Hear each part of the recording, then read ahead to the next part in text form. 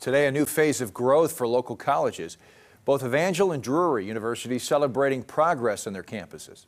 And this, in this case, progress means new construction, a goal of not only investing in students, but also the city of Springfield. 10 Sydney Moran is live outside Drury's newest building, explaining its purpose.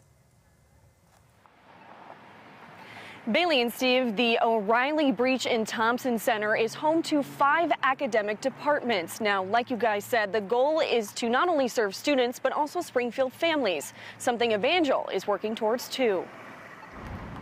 Friday marked a celebration for both Drury and Evangel University. Facility. It is incredible the support for this university. This opens a new phase of growth and opportunity for Evangel that she's not seen in quite some time.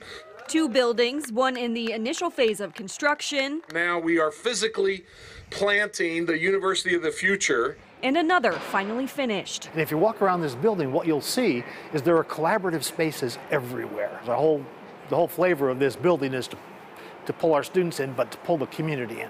The $27 million O'Reilly Breech and Thompson Center is Drury University's first new educational building in 20 years.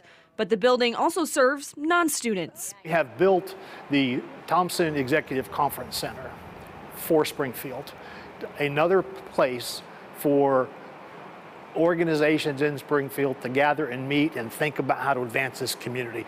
For Evangel University, being able to advance the community starts on campus. This building is going to significantly impact your God-ordained work with the next generation of leaders. Evangel has raised over $30 million this year to build not only a new sports complex and a turf field, but other projects. You can imagine not only the uh, opportunity for high schools and middle schools to be able to come and watch college athletics and kind of experience that it's providing jobs. Uh, the economic benefits are going to last for years and years. And it's great to see the community coming together.